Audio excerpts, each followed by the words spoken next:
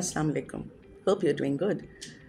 Today, I would like to talk about something which is really very near to my heart, and that is honesty. Honesty is the foundation of trust and bedrock of meaningful relationship.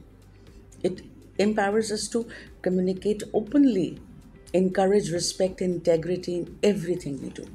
Being honest means owning our words and actions, embracing accountability and building credibility that stands the test of time. It's not always easy, but honesty paves the way of personal growth and positive connections. In a world where transparency can sometimes feel rare, choosing honesty is a powerful way to make a lasting impact on ourselves and those around us. Thank you. Stay blessed.